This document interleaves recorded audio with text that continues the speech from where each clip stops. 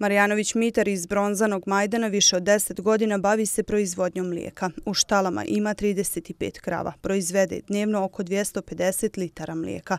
Prodajom je zadovoljan, međutim proces proizvodnje ugrožen je zbog nedostatka vode.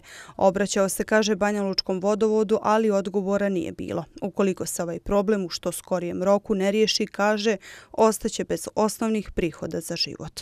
U višeg navrata ja sam pokušao da stupim u kontakt, čak sam kontaktirao gradonačelnika u kancelariju gdje sam sa sekretarici predočio problem da su ljudi iz vodovoda neće da se javi na telefon, ponašaju se prema vodovodu, ovo, to je naš vodovod Strmac koji su naši djedovi kopali bake, ponašaju se prema vodovodu Maćinski. Ja trenutno dovozim vodu u cisterni i ja ću nastaviti do novembra mjeseca. Mislim sa novembra mjesecom kad budu krenule zime ja ne mogu izdržati, ja ću da morat da e, stoku rasprodam da se povučem iz toga svega, jer ne mogu da gledam da stoka bude žedna i da propada.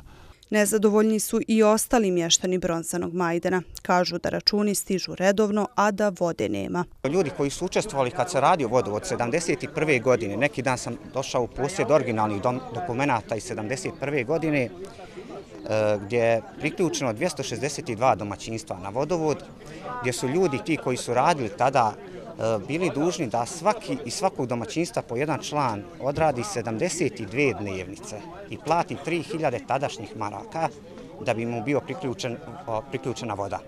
Sada ti isti ljudi, tačnije njihovi sinovi, unuci, su ostali bez vode. Imala sam troje djece male i morala sam ostaviti i ići na vodovod kopati. I ovde u 7 sati morali smo doći da se iskupimo i u post Trmca smo išli gdje je sad, to je 10 km.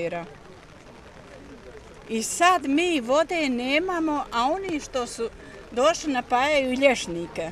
A ovdje je bilo još tri puta ovako ljudi i ima i toliko još više. Nezadovoljnik sam što ne smiju doći. I ako ga kamera vidi da on tu došao i ako ga vidi nek komšija, prijavi, on ostaje bez posla.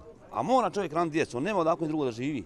Svoje probleme ispričali su narodnom poslaniku Drašku Stani Vukoviću. Kaže da je absurdno od građana tražiti da se bave poljoprivredom ako im nisu bezbiđeni ni osnovni uslovi za život. Danas vidite e, zašto se privreda i poljoprivreda u Banja Luci gasi i zašto je ovako stanje. Jednostavno, jedan čovjek je ostavljen na nemilost i danas jedan čovjek telefonira sto puta vodovod i niko neće da mu dođe. Mi smo danas obišli jednog čovjeka, jednu porodicu, jedno domaćinstvo i više domaćinstva u selu jer upravo naša borba za običnog građanina, čovjeka, stanovnika koji treba da ima ovdje svoju budućnost. Stani Vuković tvrdi da su problemi mještana Bronzanog Majdana počeli u trenutku kada je vodovod preuzeo od Centra za razvoj sela upravljanje seoskim vodovodima.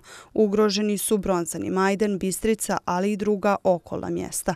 Naglašava da je sramotno da su ova domaćinstva udaljena pola sata od centra Banja Luke, a da u 21. vijeku žive bez pitke vode.